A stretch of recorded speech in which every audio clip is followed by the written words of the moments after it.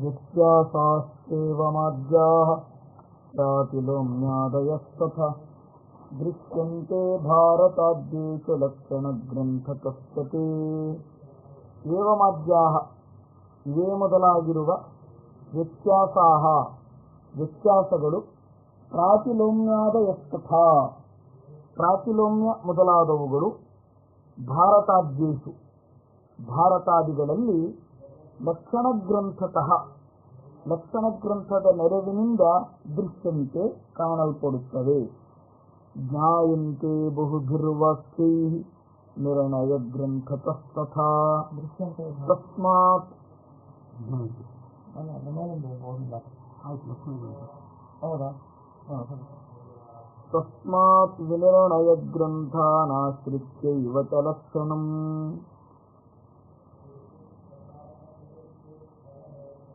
ಈ ರೀತಿಯಾದ ವ್ಯತ್ಯಾಸ ಮೊದಲಾದವುಗಳು ಬಹುಭಿ ವಾಕ್ಯೈ ಬಹಳ ವಾಕ್ಯಗಳಿಂದ ಜ್ಞಾಯಂತೆ ತಿಳಿಯಲ್ಪಡುತ್ತವೆ. ಇನ್ನು ಯಾವುದರಿಂದ ತಿಳಿಯುತ್ತೆ? ನಿರ್ಣಯ ಗ್ರಂಥ ತಸ್ತಥಾ ನಿರ್ಣಯ ಗ್ರಂಥದಿಂದ ಗೊತ್ತಾಗುತ್ತೆ. ಹೀಗಾಗಿ ನಿರ್ಣಯ ಗ್ರಂಥ ಅನ್ನೋದು ಪರಮ ಪ್ರಮಾಣ. ತಸ್ಮಾತ್ ವಿನಿರ್ಣಯ ಗ್ರಂಥಾನ್ ಆಶ್ರಿತ್ಯೈವ ಚ ಲಕ್ಷಣಂ ಬಹುವಾಕ್ಯಾನುಸಾರೇಣ ನಿರ್ಣಯೋ ಎಂ ಮಯಾ ಕೃತಃ. ಆ ಕಾರಣದಿಂದ ನಿರ್ಣಯ ಗ್ರಂಥವನ್ನು ಆಶ್ರಯಿಸಿ, ಲಕ್ಷಣ ಗ್ರಂಥವನ್ನೂ ಆಶ್ರಯಿಸಿ, ಬಹಳ ವಾಕ್ಯಗಳನ್ನು ಅನುಸರಿಸಿ ಈ ನಿರ್ಣಯವನ್ನು ನಾನು ಮಾಡಿದ್ದೇನೆ. ಮಹಾಭಾರತಕ್ಕಿಂತ ಲಕ್ಷಣ ಗ್ರಂಥ ಅನ್ನೋ ಪ್ರಮಾಣ, ಲಕ್ಷಣ ಗ್ರಂಥದಲ್ಲಿ ಏನು ಹೇಳಿದೆ? ಯಾವ ವಾಕ್ಯಗಳು ಯಾವ ಲಕ್ಷಣ? ಲಕ್ಷಣ ಗ್ರಂಥ ಅಂತಾನೆ ಒಂದು. ಮಹಾಭಾರತಕ್ಕಂತ ಅಂತ. ಯಾಕೆ ಗೊತ್ತಾ? ಅದಿದ್ರೆ ಮಹಾಭಾರತ ಅರ್ಥ ಆಗತ್ತೆ. ಅದಿಲ್ಲದೆ ಹೋದ್ರೆ ಮಹಾಭಾರತ ಅರ್ಥ ಆಗಲ್ಲ. ಇವಾಗ ವೇದ ಇದೆ. ವೇದ ಅಂತ ಅನ್ನೋದು ಅಂತನ್ನೋದು ಪರಮ ಪ್ರಮಾಣ. ಆದರೆ ಬ್ರಹ್ಮಸೂತ್ರ ಅಂತನ್ನೋದು ಅನ್ನೋದು ಅದು ಪರವಿದ್ಯೆ. ಯಾಕೆ ಯಾಕೆಂದ್ರೆ ಬ್ರಹ್ಮಸೂತ್ರ ಇಲ್ಲದೆ ವೇದ ಅರ್ಥ ಆಗಲ್ಲ. ಹೀಗಾಗಿ ಯಾವ್ದು ಪ್ರಮಾಣ? ಅಂತ ಕೇಳಿದ್ರೆ ಅವಿದ್ಯೆ ಅಂತನ್ನೋದು ಬ್ರಹ್ಮಸೂತ್ರಕ್ಕೇನೆ ಹೆಸರು. ಆದ್ರೆ ವೇದವೇ ಇಲ್ಲದೆ ಹೋದ್ರೆ ಬ್ರಹ್ಮಸೂತ್ರ ಏನು ಮಾಡ್ಲಿಕ್ಕೆ ಆಗಲ್ಲ ಪರಸ್ಪರ ಸಂಬಂಧ ಅನ್ನೋದು ಎರಡಕ್ಕೂ ಇದೆ. ನಾವು ಮೊದಲು ಬ್ರಹ್ಮಸೂತ್ರದಲ್ಲಿ ಪ್ರವೃತ್ತರಾಗ್ತೇವೆ. ವೇದ ಮತ್ತು ಬ್ರಹ್ಮಸೂತ್ರದಲ್ಲಿ ಒಟ್ಟಿಗೆ ಪ್ರವೃತ್ತರಾಗಬೇಕು ಅನ್ನೋದಷ್ಟೇ ಪರಮ ಪ್ರಾಮಾಣ್ಯ ಅಂತ ಅನ್ನೋದು ಹಾಗೆ ನಿರ್ಣಯ ಗ್ರಂಥ ಮತ್ತು ಲಕ್ಷಣ ಗ್ರಂಥ ಅಂತ ಏನು ಎರಡಿದೆ, ಅದು ಪರಮ ಪ್ರಮಾಣ. ಯಾಕೆ ಅಂದ್ರೆ ಅದಿಲ್ಲದೆ ಹೋದ್ರೆ ಮಹಾಭಾರತ ಅರ್ಥ ಆಗಲ್ಲ, ರಾಮಾಯಣ ಅರ್ಥ ಆಗಲ್ಲ ಅನ್ನೋ ಕಾರಣಕ್ಕಾಗಿ. ಉಕ್ತಂ ಲಕ್ಷಣ ಶಾಸ್ತ್ರೇಶ ಕೃಷ್ಣದ್ವೈಪಾಯನೋದಿತೆ ತ್ರಿಭಾಷಾಯೋ ನ ಜಾನಾತಿ ರೀತೀನಾಂ ಶತಮೇವ ಚ. ವ್ಯತ್ಯಾಸಾದಿನ ಸಪ್ತಭೇದಾನ್ ವೇದಾದ್ಯರ್ಥಂ ತಥಾ ವದೇತ್ ಸಯಾತಿ ನಿರಯಂ ಘೋರಮನ್ಯಥಾ ಜ್ಞಾನ ಸಂಭವಂ. ಲಕ್ಷಣ ಗ್ರಂಥ ವೇದವ್ಯಾಸರೇ ಹೇಳಿದ್ದಾರೆ. ಹ್ಮ್ ಹ್ಮ್ ತಾವು ಬರೆದ ಮಹಾಭಾರತವನ್ನ ಯಾವ ರೀತಿ ಅರ್ಥೈಸ್ಕೊಳ್ಬೇಕು ಅದರ ಗ್ರಂಥಗಳು ಯಾವ ಯಾವ ರೀತಿ ಇದೆ ಯಾವ ಯಾವ ವಾಕ್ಯಗಳು ಏನೇನಾಗಿವೆ ಯಾವ ಯಾವ ಘಟನೆಗಳು ಯಾವ ಯಾವ ಶೈಲಿಯಲ್ಲಿದೆ ಅಂತ ವೇದವ್ಯಾಸರೇ ಒಂದು ಮ್ಯಾನ್ಯಲ್ ಕೊಟ್ಟಿದ್ದಾರೆ. ಲಕ್ಷಣ ಗ್ರಂಥ ಅಂತಲೇ ಹೆಸರದು. ಲಕ್ಷಣ ಗ್ರಂಥ ಅಂತ. ಉಕ್ತಂ ಲಕ್ಷಣ ಶಾಸ್ತ್ರೇಶ ಕೃಷ್ಣ ದ್ವೈಪಾಯನೋದಿತೇ ಅವ್ರು ಹೇಳಿದ್ದಾರೆ. ಅಲ್ಲಿ ಒಂದು ಮಾತು ಬರುತ್ತೆ. ಅದನ್ನ ನಾನು ಕೋಟ್ ಮಾಡ್ತೇನೆ ಅಂತ ಹೇಳ್ತಾ ಇದ್ದಾರೆ. ಏನು? ತ್ರಿಭಾಷಾಯೋ ನ ಜಾನಾತಿ ರೀತಿ ನಾಂ ಸತಮೇವತ ಯಹ ಯಾರು? ತ್ರಿಭಾಷಾಹ ಮೂರು ಭಾಷೆಗಳನ್ನು ನ ಜಾನಾತಿ ಹ್ಮ್ ತಿಳಿದಿಲ್ಲವೋ? ರೀತಿ ರೀತೀನಾಂ ಸತಮೇವತ ನೂರು ರೀತಿಗಳು. ವ್ಯತ್ಯಾಸಾದೀನ್ ಸಪ್ತ ಸಪ್ತಭೇದಾನ್. ವ್ಯತ್ಯಾಸ ಮೊದಲಾದ ಏಳು ರೀತಿಗಳನ್ನು ಯಾರು ತಿಳಿದಿಲ್ಲವು ವೇದಾಧ್ಯರ್ಥಂ ವೇದಾದ್ಯರ್ಥಂ ತಥಾವದೇ. ಅದು ಗೊತ್ತಿಲ್ಲದೆ ವೇದ ಅಪ್ರಾಣ ಇತ್ಯಾದಿಗಳನ್ನೆಲ್ಲ ಯಾರು ವ್ಯಾಖ್ಯಾನ ಮಾಡ್ತಾನೋ? ಸಯಾತಿ ಘೋರಂ ಅನ್ಯಥಾ ಜ್ಞಾನ ಸಂಭವಂ. ಅವನು ನರಕಕ್ಕೆ ಹೋಗ್ತಾನೆ.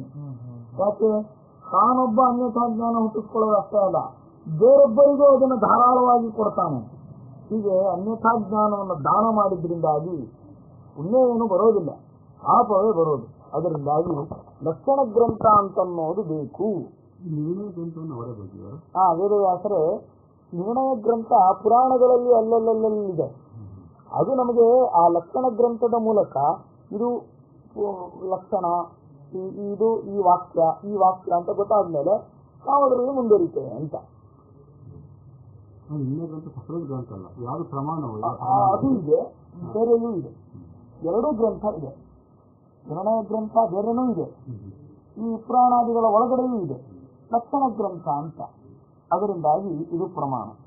ಇತ್ಯನ್ನೇಹಿ ಕಥಾಸ್ತ್ರೀಷು ತತ್ರ ತತ್ರೋದಿತಂಬಹು ಇದು ಈ ರೀತಿಯಾಗಿ ಅನ್ವೇಷಿತ ಶಾಸ್ತ್ರೀಷು ಬೇರೆ ಬೇರೆ ಶಾಸ್ತ್ರಗಳಲ್ಲಿ, ಅಂದ್ರೆ ಲಕ್ಷಣ ಗ್ರಂಥ ನಿರ್ಣಯ ಗ್ರಂಥ ಮೊದಲಾದವುಗಳಲ್ಲಿ ಬಹು ತತ್ರ ತತ್ರ ಉದಿತಂ. ಅಲ್ಲಿ ಅಲ್ಲಿ ಅಲ್ಲಿ ಬಹಳ ಹೇಳಿದ್ದಾರೆ.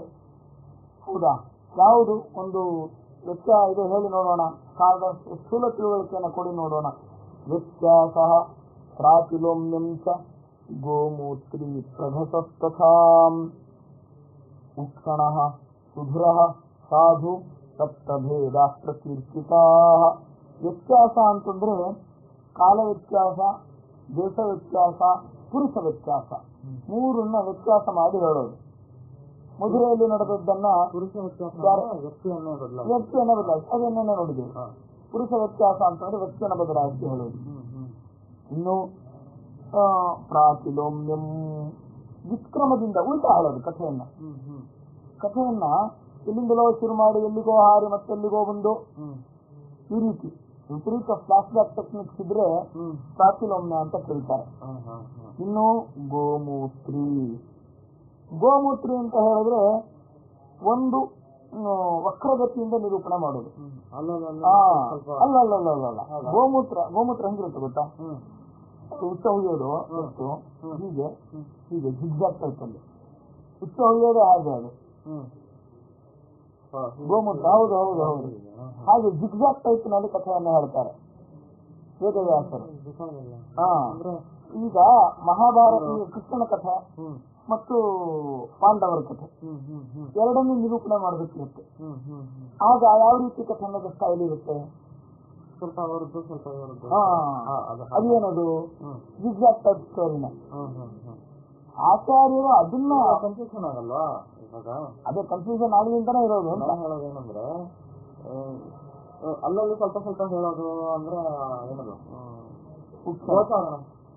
ಇದು ಗೋಮೂತ್ರಿ. ಗೋಮೂತ್ರಿ. ಹಾ. ಸ್ವಲ್ಪ ಅಲ್ಲಲ್ಲಿ ಸ್ವಲ್ಪ ಸ್ವಲ್ಪ ಅದು ಅದು ಪ್ರಭಾತ ಪ್ರಭಾಸ ಆಗಲ್ವಾ. ಪ್ರಭಾಸ ಆಗೋದು ಕನ್ಫ್ಯೂಸ್ ಆಗಲ್ವಾ? ಸ್ವಲ್ಪ ಅಲ್ಲಿ ಹೇಳಿದ್ರ ಮತ್ತೆ ಸ್ವಲ್ಪ ಅಲ್ಲಿ ಹೇಳಿದ್ರು? ಇಲ್ಲ ಇಲ್ಲ ಗೊತ್ತಾಗಲ್ಲ. ಕಾಲ ಕಾಲ. ಬೇರೆ ಬೇರೆ ಕಡೆ ಬಂದಿದೆ ಅಂತ ಅನ್ಕೊಂಡ್ರೆ? ಕಾಲ ಕಾಲ ಇದೆಯಲ್ಲ? ಅವನ ಬಾಲ್ಯ? ಹ್ಮ್. ಇವನ ಬಾಲ್ಯ. ಹ್ಮ್. ಅವನ ಯೌವನ? ಇವನ ಯೌವನ. ಹ್ಮ್. ಅವನ ಮುದಿತನ ಇವನ ಮುದಿತನ. ಅವನ ಮಹಾಪ್ರಸ್ಥಾನ ಇವನ ಮಹಾಪ್ರಸ್ಥಾನ. ಕಡೆಯಲ್ಲಿ ಆ ಆಸ್ತಮೇಧಿಕ ಪರ್ವ ಆದ್ಮೇಲೆ ಮಹಾಭಾರತದಲ್ಲಿ ಹೀಗೆ ಹೆಣಕೊಂಡು ಹೆಣಕೊಂಡು ಹೋಗಿರುತ್ತೆ. ಅದನ್ನ ಹೇಳಿರ್ತಾರೆ. ಅದರಿಂದಾಗಿ ಗೋಮೂತ್ರಿ. ಆಮೇಲೆ ಇದನ್ನ ಅಂದ್ರೆ ಇನ್ನು ಹೇಳ್ಬೇಕು. ಗೋಮೂತ್ರಿ ಇದು ಇನ್ನು. ಇದನ್ನ ಇದರಲ್ಲೂ ಕೂಡ ಬಳಸ್ತಾರೆ. ಗೋಮೂತ್ರಿಕಾ ಬಂಧ ಅಂತ ಹೇಳಿ ಕಾವ್ಯದಲ್ಲಿ ಕೂಡ ಶ್ಲೋಕಗಳನ್ನ ಈ ರೀತಿ ಬಳಸ್ತಾರೆ? ಅದನ್ನ ನೀವು ಮಧ್ಯ ಹತ್ತನೇ ಶಬ್ದದಲ್ಲೆಲ್ಲ ಕಾಣಬಹುದು. ಸಮಾನಯಾಯ ನಮ ಸಮಾಜಯ ತತಯಾಯಮ ಯಮ ತನಾಲನಾತಯ ಅಂತ. ಗೋಮೂತ್ರಿ. ಇನ್ನು ಪ್ರಘಸಃ ಪ್ರಘಸಃ ಅಂತ ಹೇಳಿದ್ರೆ ನಿನ್ನೆ ನೋಡ್ತಾ ಇದೀವಲ್ಲ. ಮಹಾಭಾರತದಲ್ಲಿ ಅವನು ಇದನ್ನು ಹೇಳ್ತಾನೆ. ಯಾರು? ಕಲ್ಮಾಸಪಾದನ ಕಥೆಯನ್ನ ಹೇಳ್ತಾ ಹೋಗ್ತಾನೆ ವಸಿಷ್ಠರ ಕಥೆ. ದೂರ ಅಂತ ಅನ್ಸುತ್ತೆ. ಆದರೆ ಅಲ್ಲಿ ಒಂದು ಮುಕ್ಕಾಲು ಗಂಟೆ ಮಾತಾಡಿರ್ತಾನೆ. ಅಷ್ಟೇ. ವಸಿಷ್ಠರು ಅಂದ್ರೆ ಏನು ಅಂತ. ಆ ಕಥೆಯಲ್ಲಿಯೂ ಕೂಡ ನಮಗೆ ವೇದವ್ಯಾಸರು ವಾಲ್ಮೀಕಿ ರಾಮಾಯಣದಿಂದ ಸಿಗೋ ಕಥೆ ಬೇರೆ. ಮಹಾಭಾರತದ ವನಪರ್ವದಿಂದ ಸಿಗೋ ಕಥೆ ಬೇರೆ. ಆದಿಪರ್ವದಲ್ಲಿ ವಸಿಷ್ಠರ ಚರಿತ್ರೆ ಬಂದಾಗ ಸಿಗೋದು ಬೇರೆ. ಕಾಂತಿ ಪರ್ವದಲ್ಲಿ ವಿಶ್ವಾಮಿತ್ರರ ಕಥೆ ಸಿಗೋದು ಬೇರೆ. ಎಲ್ಲವನ್ನೂ ಕೂಡ ಅಲ್ಲಲ್ಲಲ್ಲ ಹೇಳಿದ್ದಾರೆ. ಅಂದ್ರೆ ಮಧ್ಯ ಮಧ್ಯದಲ್ಲಿ ಕಥಾಭಾಗವನ್ನು ಬಿಟ್ಟು ಬೇರೆ ಬೇರೆ ಕಥೆಗಳನ್ನು ನಿರೂಪಣೆ ಮಾಡ್ತಾ ಹೋಗ್ಬಿಡ್ತಾರೆ. ಒಂದು ಕಥೆ ಅಂತ ಇರಲ್ಲ. ಅದನ್ನ ಪ್ರಘಾತ ಅಂತ ಕರೀತಾರೆ. ಮಹಾಭಾರತಾದಿಗಳಲ್ಲಿ ಮಹಾಭಾರತಾದಿಗಳೆಲ್ಲ ಇರೋ ಟೆಕ್ನಿಕ್ ಅದು ಅದರಿಂದಾಗಿ ಪ್ರಭತಕ್ಕೂ ಗೋಮೂತ್ರಿಗೂ ಬಹಳ ವ್ಯತ್ಯಾಸ ಇದೆ. ಹಸು ತಿನ್ನೋದೇ ಹಾಗೆ ವಸ್ತುತಃ. ಘಸ್ ಅದನೆ ಅಂತ. ಹಸು ತಿನ್ನೋದು ಇನ್ನೊಂದ್ ಸ್ವಲ್ಪ ತಿನ್ನಕ್ಕೆ ಇನ್ನೊಂದ್ ಸ್ವಲ್ಪ ತಿನ್ನಕ್ಕೆ ಅಲ್ಲೊಂದ್ ಸ್ವಲ್ಪ ತಿನ್ನಕ್ಕೆ. ಎಲ್ಲ ಒಟ್ಟಿಗೆ ತಿನ್ನಲ್ಲ. ಆ ರೀತಿಯಾದ ನಿರೂಪಣೆ ಪ್ರಘಸ. ಇನ್ನು ಉಕ್ಷಣ. ಉಕ್ಷಣ ಅಂತಂದ್ರೆ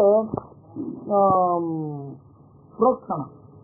ಕಥೆಯನ್ನ ಸ್ವಲ್ಪ ನಿರೂಪಣೆ ಮಾಡಿ ಮುಂದೆ ಹೋಗುದು. ಸ್ವಲ್ಪ ನಿರೂಪಣ ಮಾಡಿ ಮುಂದೆ ಹೋಗುದು ಸ್ವಲ್ಪ ನಿರೂಪಣೆ ಮಾಡಿ ಮುಂದೆ ಹೋಗುದು ಪೂರ್ತಿ ನಿರೂಪಣೆ ಮಾಡಿರಲ್ಲ. ಇದ್ರಲ್ಲೇ ಬಂತಲ್ಲ ಈಗ ಬಂದಿರೋದ್ರಲ್ಲೇ ತುಂಬಾ ಉತ್ಸಾಹ ಬಂದಿತ್ತು. ಹೌದು. ಫಸ್ಟ್ ಇಂಟ್ರೊಡಕ್ಷನ್ ತರ ಆಮೇಲೆ ಮತ್ತೆ ಕೇಳ್ತಾನೆ ಅದನ್ನು ಹೇಗೆ ವಿಸ್ತಾರವಾಗಿ. ಹಾ. ಉತ್ಸಾಹ ಅಂತ ಹೇಳಬಹುದು. ಮತ್ತೆ ಇನ್ನೂ ಕೆಲವೊಂದು ಸೂಕ್ಷ್ಮ ಅಂಶಗಳಿವೆ. ಅಥವಾ ಅದು ತುಂಬಾ ನಂತರದಲ್ಲಿ ಹೇಳ್ತಾರ? ಇಲ್ಲ ಇಲ್ಲ ಇಲ್ಲ ಇಲ್ಲ ಇಲ್ಲ. ಇನ್ನೂ ಕೆಲವೊಂದು ಉತ್ಸಾಹ ಇದೆ. ಏನಂತಂದ್ರೆ ಈಗ ಅವನು ಮಾಂಸ ಇದ ಮಾಡ್ತಾನೆ ಅಂತ ಆಯ್ತು. ಮುಗಿಯ ಬೇಟೆಗೆ ಹೋಗಿದ್ದ. ಬೇಟೆಗೆ ಹೋದಾಗ ಒಟ್ಟಿಗೆ ಅವನಿಗೆ ಒಬ್ಬ ಬ್ರಾಹ್ಮಣ ಇದಾಗ್ಬಿಡ್ತಾನೆ. ಆಮೇಲೆ ಇನ್ನೊಬ್ಬ ಯಾರೋ ಬ್ರಾಹ್ಮಣ ಬಂದ್ಬಿಡ್ತಾನೆ ಅಂತ. ಅಲ್ಲಿ ವಸ್ತುತಃ ಬರೋದು ವಸಿಷ್ಠವೇ. ನನಗೆ ಊಟ ಕೊಡು ಅಂತ. ಅದನ್ನ ಬೇರೆ ಪ್ರಾಣದಿಂದ ನಾವು ತಿಳ್ಕೊಳ್ಬೇಕಾಗತ್ತೆ. ಮತ್ತೆ ಬೇಟೆಯಲ್ಲಿ ಒಂದು ಪ್ರಸಂಗ ಆಯ್ತು. ಅದು ಹರಿವಂಶದಲ್ಲಿ ಬರುತ್ತೆ. ಹ್ಮ್ ಆದ ಬೇಟೆ ಆಡ್ತಾ ಇರ್ಬೇಕಾದ್ರೆ ಇಬ್ರು ಅಣ್ಣ ಮತ್ತೆ ತಮ್ಮ ರಾಕ್ಷಸರು. ಚಿರತೆ ವೇಷ ಹಾಕೊಂಡು ಓಡಾಡ್ತಾ ಇದ್ರು. ಅದರಲ್ಲಿ ತಮ್ಮನನ್ನ ಅವನ ಕೊಂದು ಇದು ಕಲ್ಮಾಸಪಾದ ಕೊಂಡ್ಬಿಟ್ಟ ಸಿರ್ಕೆ ವೇಷದಲ್ಲಿದ್ದ ಚಿರತೆ ಸಿಕ್- ಕಂಡ ಸಿಕ್ಕಿತು ಕೊಂಡ್ಬಿಟ್ಟ ಅಣ್ಣನಿಗೆ ಸಿಟ್ಟು ಬಂತು. ಏನೋ ಕಾರಣ ನನ್ನ ತಮ್ಮನನ್ನ ಕೊಂದಿದೀಯಾ ಮಾಡ್ತೀನಿ ಇರು ಅಂತ ಹೇಳಿ ವಸಿಷ್ಠದ ದೇಶದಲ್ಲಿ ಬಂದು ನರಮಾಂಸ ಕೊಡು ಅಂತ ಕೇಳಿದ. ಕೇಳಿದ್ದೆ ನರಮಾಂಸ ಅಂತ. ಆಮೇಲೆ ಇವ್ ಇವನೇ ಅಡಿಗೆ ವೇಷ ಹಾಕೊಂಡು ಹೋಗಿ ವಧಾಸ್ಥಾನಕ್ಕೆ ಹೋಗಿ ನರಮಾಂಸ ತಗೊಂಡು ಬಂದ. ಯಾರೋ ಒಬ್ಬ ಬ್ರಾಹ್ಮಣ ಬಂದ ಅದು ವಸಿಷ್ಠ ಬಂದಿದ್ದು. ವಸಿಷ್ಠ ಬಂದು ಊಟ ಹಾಕು ಅಂತಂದ್ರು ಆಗ ಇವನ ಅಡಿಗೆ ವೇಷ ಇವನ್ ಅಡಿಗೆ ವೇಷ ಹಾಕೊಂಡು ಯಾರು ಇವನಿದಾನಲ್ಲ ಅವನು ಧರ್ಮಾಂಶ ತಂದಿಟ್ಟ ಹ್ಮ್ ಅಂದ್ರೆ ಅಲ್ಲಿ ವಸಿಷ್ಠರು ಅಂತ ನಾನು ನಿರೂಪಣೆ ಮಾಡಿಲ್ಲ. ಹಸಪ್ ಮಾಡಿದ್ದಾರೆ. ಅದನ್ನ ಪ್ರಘಸ ಅದನ್ನ ಉಕ್ಷಣ ಅಂತ ಕರೀತಾರೆ. ಇನ್ನು ಸುಧುರ. ಸುಧುರ ಅಂತ ಹೇಳಿದ್ರೆ ಸಮಗ್ರವಾಗಿ ಇಂಚು ಬಿಡದ ಹಾಗೆ ನಿರೂಪಣೆ ಮಾಡೋದು. ಆ ದ್ರೌಪದಿಯ ಸ್ವಯಂವರದನ ವರ್ಣನೆ ಮಾಡಬೇಕಾದ್ರೆ ಅವರು ಯಾವ ರೀತಿ ಇದ್ರು? ಯಾವ್ಯಾವ ಕರೆದವ್ರು ಬಂದಿದ್ರು? ಹೇಗಿನವ್ರು ಬಂದಿದ್ರು? ಎಲ್ಲೆಲ್ಲಿ ಕೂತಿದ್ರು? ಇಷ್ಟು ವಿವರವಾಗಿ ನಿರೂಪಣೆ ಮಾಡೋದು. ಇವಾಗ ಯುದ್ಧ ನಿರೂಪಣೆ ಇದೆ. ಅದು ಸುಧುರ ಆಮೇಲೆ ಸಾಧು. ಸಮಾಜ ಸಮಾಧಿ ಭಾಷೆಯಿಂದ ಪರಮಾತ್ಮನ ಸರ್ವೋತ್ತಮತ್ವ ಮೊದಲಾದ ತತ್ವಗಳನ್ನು ಸರಿಯಾಗಿ ತೋರುವಂತಹ ನಿರೂಪಣೆ ಏನಿದೆ? ಅದನ್ನ ಸಾಧು ಅಂತ ಕರೀತಾರೆ. ಪ್ರಕಾಶ ಸಾಧು ಅಂದ್ರೆ ಸಾಧು ಅಂತಂದ್ರೆ ಸಮಾಧಿ ಭಾಷೆಯಿಂದ ನಿರೂಪಣೆ ಮಾಡಿದ್ರೆ ಅದನ್ನ ಸಾಧು ಅಂತ ಕರೀತಾರೆ. ಇದು ಅಂದ್ರೆ ಸುಧುರ ಸಾಧು ಅಂದ್ರೆ ಹಾ, ಸುಧೀರ ಅಂತಂದ್ರೆ- ಸುಧುರ ಅಂತಂದ್ರೆ ಪಿಕ್ಟೋರಿಯಲ್ ಆಗಿರುತ್ತೆ. ವರ್ಣನೆ ಸಮಗ್ರ ಸೂಕ್ಷ್ಮ ಸೂಕ್ಷ್ಮದ ವರ್ಣನೆ. ಅಂದ್ರೆ ಮೆಟಿಕ್ಯುಲಸ್ ವರ್ಣನೆ ಏನಿದೆ? ಮೆಟಿಕ್ಯುಲಸ್ ಆಗಿ ಹೇಳ್ತಾ ಇದ್ರೆ ಅದು ಸುಧುರ. ಹ್ಮ್. ಸಾಧು ಅಂತ ಹೇಳಿದ್ರೆ ಮೆಟಿಕ್ಯುಲಸ್ನೆಸ್ ಅಲ್ಲ. ಅಲ್ಲಿ ಇರೋದು ಸತ್ವ ಆ ಸತ್ಯವನ್ನ ಹೇಳ್ತಾರೆ. ಅದನ್ನ ಸಾಧು ಅಂತ ಕರೀತಾರೆ. ಪ್ರಕಾಶ ತಥಾಚ ಏಳು ತರಹದ ಕಥಾಭೇದಗಳಿದೆ. ಇದಕ್ಕಿಂತ ಹೊರತಾಗಿ ಏನ್ ತೋರಿಸ್ಲಿಕ್ಕೆ ಸಾಧ್ಯ ಹೇಳಿ. ಕಥಾಭೇದಗಳು. ಕೂಡ ಒಂದು. ಹೌದು. ಅದಕ್ಕೆ ಏನು ಹೇಳಿದ್ರೆ ಕಾಲ ವ್ಯತ್ಯಾಸ ದೇಶ ವ್ಯತ್ಯಾಸ. ಪುರುಷ ವ್ಯತ್ಯಾಸ ತಥಾಚ ಈ ಏಳಿದೆ. ಈ ಏಳು ಬಿಟ್ಟು ಪ್ರಥಮ ಶೈಲಿಯಲ್ಲಿ ಇನ್ನೇನು ಇರ್ಲಿಕ್ಕೆ ಸಾಧ್ಯ ಹೇಳಿ. ಹ್ಮ್ ಹ್ಮ್. ಈ ಏಳೇ ಇರಬೇಕು. ದೃಶ್ಯ ಮಾಧ್ಯಮದಲ್ಲಿ ಎಲ್ಲವೂ ಓಕೆ. ಹೇಳೋ ಸಂಬಂಧಪಟ್ಟಿದೆ. ಆದ್ರೆ ವ್ಯತ್ಯಾಸವನ್ನು ಮಾತ್ರ ಸ್ವಲ್ಪ ಆ, ಮಾಡ್ತಾರೆ ಹೇಗೆ ಗ್ರಾಹ್ಯ. ನೋಡಿ ಪುರುಷನನ್ನು ಬದಲಾಯಿಸಿ ಹೇಳೋದು ಆ, ಕಾಲವನ್ನು ಬದಲಾಯಿಸಿ ಹೇಳೋದು. ನಡೆದದ್ದು ಒಂದು ಕಾಲದಲ್ಲಿ ಅದನ್ನ ಬೇರೆ ಕಾಲ ಅಂತ ಹೇಳಿದ್ರೆ ತಪ್ಪಲ್ವಾ ಹೇಳಿದ್ದು? ಯಾವ್ದಾದ್ರು ಅಂತ ಶೈಲಿ ತಗೊಳ್ಳಿ. ಅದರಲ್ಲಿ ಹೇಳ್ಬೇಕಾದ್ದನ್ನ ಬೇರೆ ಬೇರೆ ರೀತಿ ಹೇಳ್ತಾ ಇದ್ದಾರೆ. ಆದ್ರೆ ಇಲ್ಲಿ ವಿಷಯನ ತಪ್ಪಾಯ್ತಲ್ಲ? ಒಂದು ಪುರುಷನ ಬದಲಾಯಿಸಿ ಹೇಳಿದ್ರು ಅಥವಾ ಕಾಲ ಬದಲಾಯಿಸಿ ಹೇಳಿದ್ರು ಆಮೇಲೆ ಇನ್ನೊಂದು ದೇಶ. ದೇಶ. ಒಂದು ನೋಡಿ ಇಲ್ಲಿ ನೋಡಿದ್ದು ಅಲ್ಲಿ ನೋಡಿದ್ದು ಅಂತ ಹೇಳಿದ್ರೆ ಅದೊಂಥರ ತಪ್ಪೇ ಆಯ್ತಲ್ವಾ ಮೊದಲನೇ ಪಾಯಿಂಟು ಹೌದು. ತಪ್ಪಾಯ್ತು. ಆದ್ರೆ ವ್ಯತ್ಯಾಸ ಹೀಗೆ. ಹ್ಮ್. ತಪ್ಪಾಯ್ತು. ಹೌದು. ಆದ್ರೆ ಕಥಕನಿಗೆ ಹೇಳುವಾಗ ಅದು ಬಂದ್ಬಿಡುತ್ತೆ. ಹೇಳುವ ಹೇಳ ಉದ್ದೇಶಪೂರ್ವಕವಾಗಿ ಹೇಳ್ಬೇಕು ಅಂತ ಇರಲ್ಲ. ಬಂದು ಬಿಡುತ್ತೆ ಮೊದಲನೇ ಪಾಯಿಂಟ್ ಆದ್ರೆ ವೇದವ್ಯಾಸರು ಅದನ್ನು ಹೇಳಲಿಕ್ಕಾಗಲ್ಲ. ಎರಡು ಅಲ್ಲ ಅಲ್ಲ ವೇದವ್ಯಾಸರು. ಇವಾಗ ಇವನು ಈ ಕಥೆಯನ್ನು ಹೇಳ್ತಾ ಇದ್ದಾನೆ ಅವನು ಆ ಕಥೆಯನ್ನು ಹೇಳಬೇಕಾದ್ರೆ ಈ ತರಹ ಹೇಳ್ದ. ಅಂತ ಆ ವ್ಯತ್ಯಾಸವನ್ನು ಇಟ್ಕೊಂಡು ಹೇಳ್ತಾರೆ. ಸರಿ ಸರಿ ಸರಿ. ಆಮೇಲೆ ನಾವು ಹೇಳ್ಬೇಕಾದ್ರೂ ಕೂಡ ಕೆಲವೊಮ್ಮೆ ಪುರುಷ ವ್ಯತ್ಯಾಸ ಮಾಡೇ ಮಾಡ್ತಾರೆ ಇಬ್ರು ಇತ್ತು ಅಂತಂದ್ರೆ ಇವತ್ತು ದಿಲೀಪ್ ಬರ್ತಾರೆ ಅಂತಂದ್ರೆ ಪ್ರದೀಪ ನಮ್ಮ ತಲೆಯಲ್ಲಿರೋದು ಇರೋದು. ಹೇಳಕ್ ದಿಲೀಪ್ ಬರ್ತಾರೆ ಅಂತ ಹೇಳ್ತೀವಿ ಹ್ಮ್ ಅದರಿಂದಾಗಿ ವ್ಯತ್ಯಾಸ ಅನ್ನೋದು ಕಥಕ ಸಹಜವಾದ ಗುಣ. ಮೊದಲನೇ ಪಾಯಿಂಟ್ ಎರಡನೇದು ವ್ಯತ್ಯಾಸದ ಹಿಂದೆ ವೇದವ್ಯಾಸರಿಗೆ ದಾರಿ ತಪ್ಪಿಸುವ ಉದ್ದೇಶವೂ ಇದೆ. ಅದನ್ನ ನಾವು ಅರ್ಥ ಮಾಡ್ಕೊಳ್ಬೇಕು ಅಂತ ಆಚಾರ್ಯ ಹೇಳ್ತಾ ಇರೋದು. ಹ್ಮ್ ಇತ್ಯಾದಿ ಲಕ್ಷಣಾನ್ಯತ್ರ ನೋಚ್ಯಂತೆ ನ ಪ್ರಸಂಗತಃ ಇತ್ಯಾದಿ ಲಕ್ಷಣ ಇದೇ ರೀತಿಯಾದ ಲಕ್ಷಣವನ್ನ ಅತ್ರ ನೋಡ್ತಂತೆ ಇಲ್ಲಿ ನಾನು ಹೇಳೋದಿಲ್ಲ. ಯಾಕೆಂದ್ರೆ ಅನ್ಯ ಪ್ರಸಂಗತಃ ಅದು ಬೇರೆ ಪ್ರಸಂಗ. ಅದ್ರ ಬಗ್ಗೆ ಪಾಠ ಮಾಡ್ತಾ ಹೋದ್ರೆ. ನಿಮಗೆ ಇವತ್ತು ಕಥೆ ಮುಟ್ಟೋದಕ್ಕೆ ಇನ್ನೂ ಹತ್ತಾರು ವರ್ಷಗಳಾಗುತ್ತೆ. ಅನ್ಯ ಪ್ರಸಂಗತಃ ಅದು ಬೇರೆಯದ್ದೇ ಆದ ಕಥೆ.